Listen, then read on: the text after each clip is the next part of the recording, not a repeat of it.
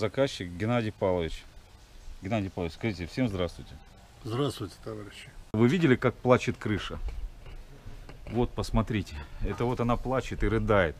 Кровмонтаж, приди ко мне. Вылечи меня, спаси меня.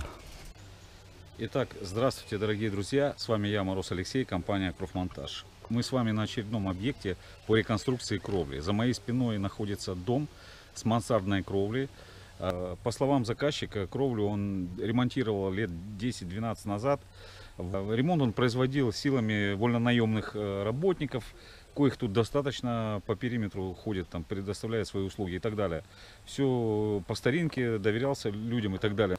И конденсат э, прям зимой их мучает. Очень много теплопотерь и так далее. Поэтому спустя 10 лет опять приходится делать капитальный ремонт. Еще хочу коснуться вопроса э, интересного, на мой взгляд. Э, Наиболее самые популярные материалы кровельные на данный момент в России считаются э, металлочерепица и гибкая черепица. Если у хозяина дом покрыт гибкой черепицей, то он обязательно мечтает перекрыть свою кровлю на металлочерепицу. И наоборот, если у него покрыта кровля металлочерепицы, он обязательно хочет и мечтает э, заменить ее на гибкую черепицу. Да, такова статистика, так и есть на самом деле.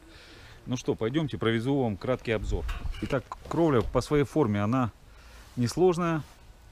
Э, В принципе, двускатная, чуть-чуть со смещением конька.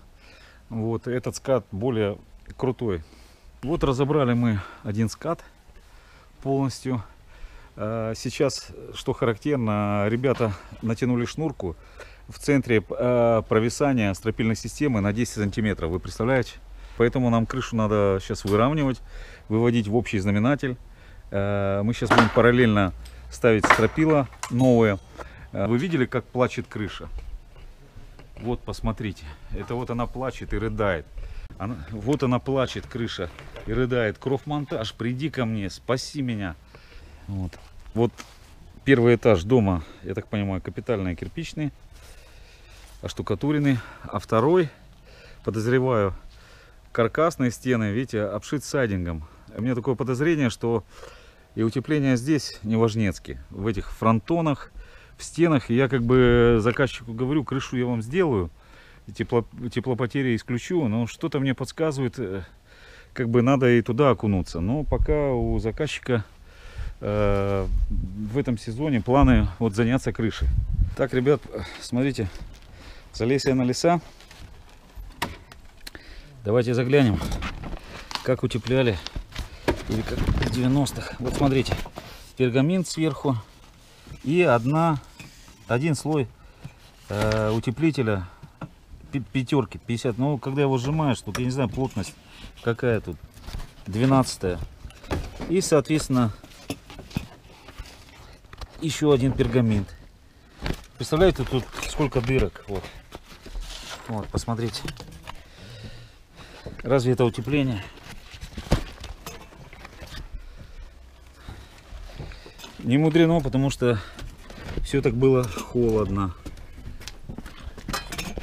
вот, посмотрите. Ну, вот, щели какие. Вот. А это вот э, здесь где-то размер полтора метра. Это уже э, потолок первого этажа. Здесь комнаты первого этажа. Понимаете, там и холодно, и на первом этаже. Вот. А это уже получается мансарда второго этажа. Здесь такой э, перегородка зашитая вагонкой. Получается, и вот этим авиационным было утеплителем натянуто. И э, за стеной уже батареи шпарят. И здесь э, один слой авиационным. Да здесь просто было холодно. И уже зашита вагонкой. Соответственно, мы сейчас, видите, проклеиваем пароизоляцию. Сейчас ребята ставят с проклейкой стыков всех. Вот. И будем утеплять, э, наращивать здесь где-то где 250 утеплять и эту часть кровли. Полностью сейчас ребята будут подрывать э, вот этот пол и засовывать утеплитель. Вот видите, потолок чем утеплен. Утеплитель. И все. Ребят, это потолок. И с этой стороны мороз минус 20 зимой, минус 25. А там уже в помещении отопление. Соответственно, тепло все подымалось сюда. Тепло потери колоссальное. Утеплять мы будем по контуру мансарды. Соответственно, вот этот потолок полностью вот это помещение будем перелопачивать, взрывать это, демонтировать. И дальше там тоже переходит скат. Есть скошенный участок, мансарды тоже там будем переделать. Вот такие планы. А чердак здесь останется холодным. Сейчас на кровле.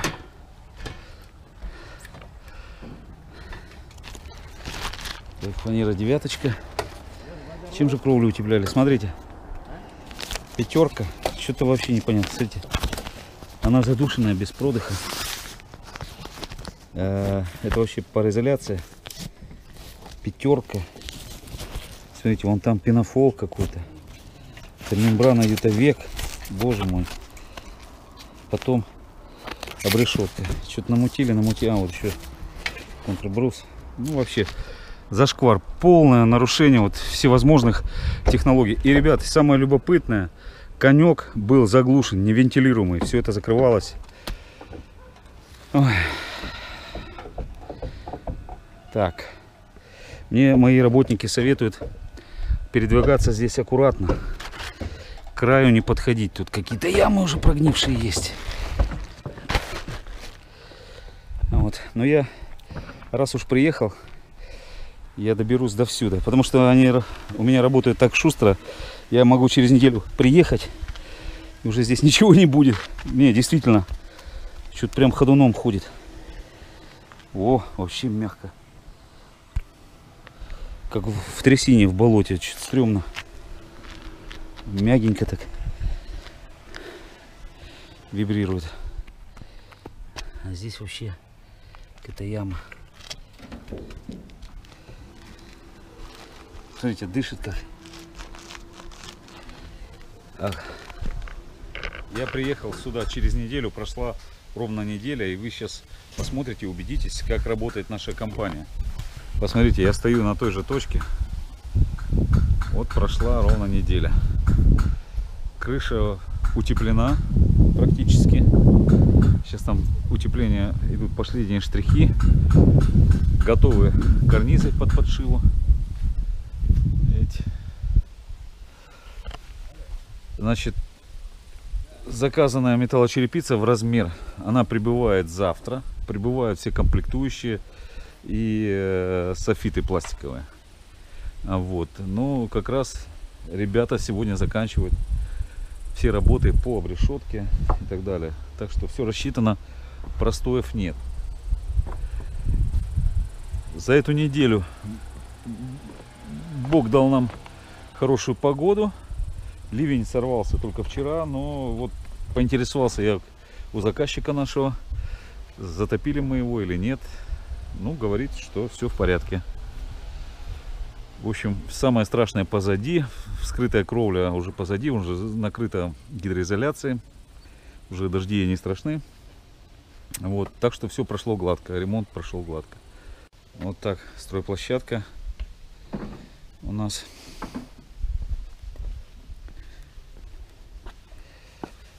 Антисептик покупаем мы, видите, такими бадьями по 75 литров. Очень выгодно. Вот есть по 20, есть по 75.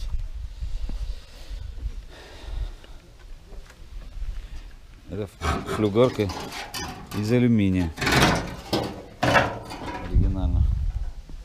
Так, я вылез на леса. Видите, капельник конденсата уже сделан. Сюда мы будем фронтонную планку из металла под него подсовывать. Вот. Вот обрешетка готова.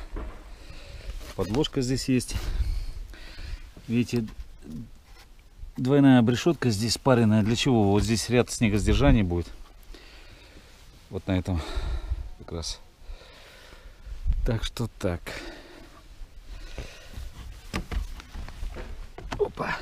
Полезем наверх.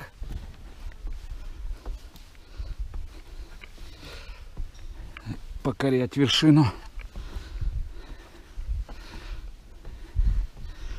Так. И опа-на.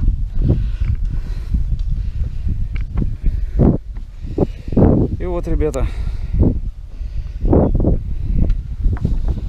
прошла неделя.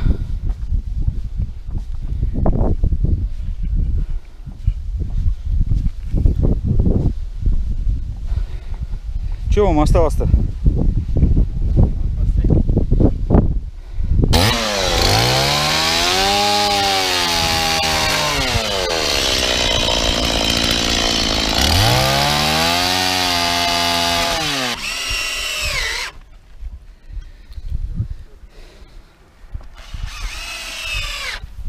Вот прокручивают вторую обрешетку.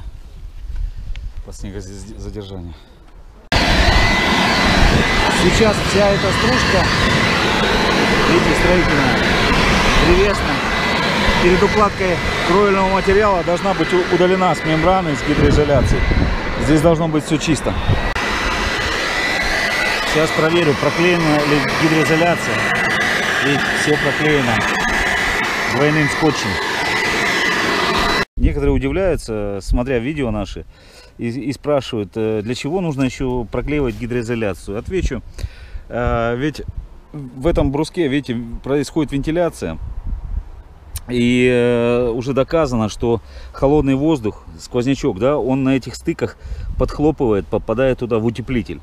И вот как раз и конденсат немножко может э, появляться там испарина вот на утеплителе. Это уже проверено. Дабы избежать это все, проклеивают еще дополнительные стыки. Так я поднялся на крышу.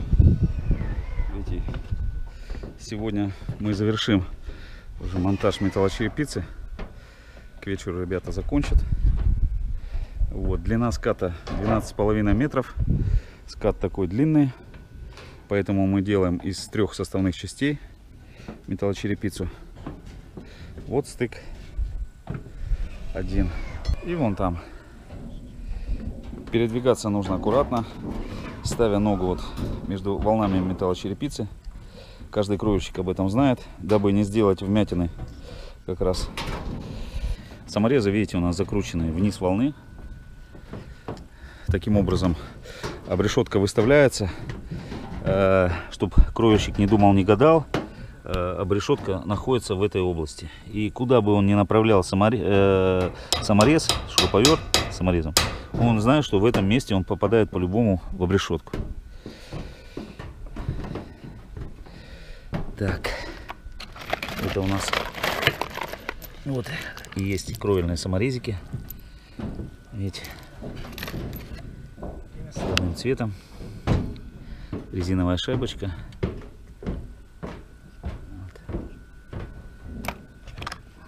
А это краска корректор родная. Ей мы подкрашиваем косячки, которые, ну, бывают не- неизбежны. Хочу сказать, что металлочерепица здесь э, такая бюджетная. Э, толщина 0,5, цинка 275 грамм в оцинковке. Но покрытие полиэстер. Полиэстер она такая более царапучая, снена аккуратно. Вот. Но, тем не менее, гарантия на нее дается 15-30 лет. Кстати, вот как раз могу показать. Видите, цинка э, 275, толщина 0,5, северсталь, полиэстер, гарантия 15-30 лет. И сделана она 10.08 э, 20 по этому паспорту также легко определить потом какие-то предъявить гарантийные э, претензии или спустя долгие годы, я на- надеюсь, э, производя демонтаж, вы будете видеть реально сколько простояла металлочерепица. Вот приподняли обшивку дымохода. Сейчас сделают обход трубы и опустят вниз.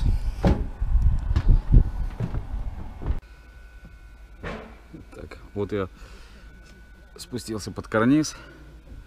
Расскажу вам немножко об устройстве карнизного свеса. Видите, здесь мы на станке сами гнем фронтонную планку, да, закрываем. И под нее загоняем софит.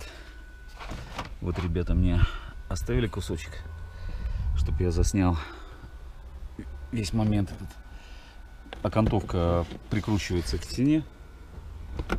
И сюда под фронтонную планку загоняют. Вот, и крепится. И также вставляют следующий в зацеп. Вот так до бесконечности. Эту стену также мы переутеплили здесь. 16 квадратов, 8 на 2. Так 8, так 2. Все перебрали. Это комната смежная в помещении. Здесь библиотека находится, так называемая.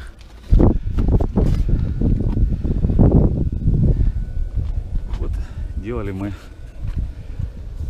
боковую часть.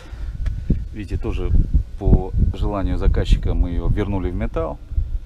Подшивку делали белым софитом.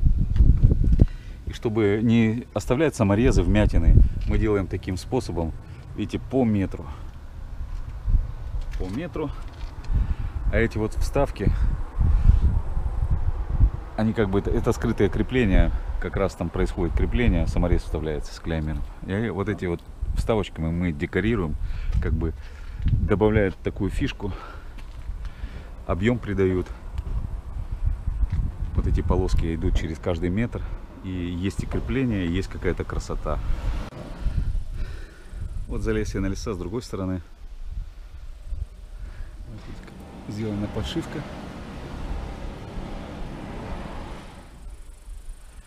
Здесь уже у нас два ряда снегосдержаний, потому что скат такой, он угол наклона у него градусов 35. Два ряда снегосдержания.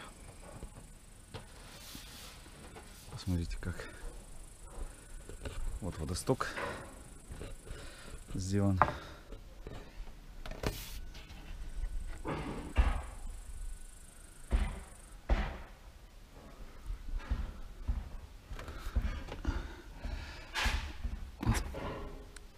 Вот. Еще раз покажу, как тут было до этого.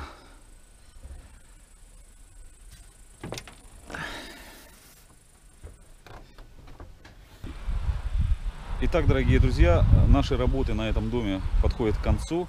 Вот хотел вас познакомить с нашим уважаемым заказчиком Геннадий Павлович, э, военный пенсионер, заслуженный пенсионер. Э, Представьтесь нашим заказчиком и, может, скажете пару слов о нас. Ну, что могу сказать. Ну, в результате, вот видите, что потекло, на- на- надо было что-то придумать. Младший сын посоветовал, все, говорит, ты больше не ищи шабашников. младший сын все-таки Да, обра- обратись. дал, Да. дал И, направление. и дал мне именно кровмонтаж. Я вот пригласил и считаю, что очень правильно сделал. Быстро, качественно.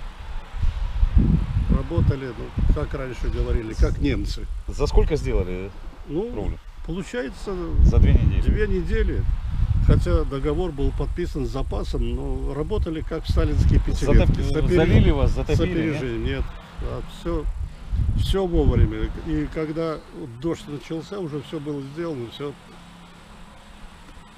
Ну, всё. спасибо. Так что спасибо Очень вам, приятно, молодцы. что вы рады. Молодцы. И всем, Рекомендую всем. Итак, дорогие друзья, подписывайтесь на наш канал, следите за нашими выпусками. С вами был Мороз Алексей. Пока.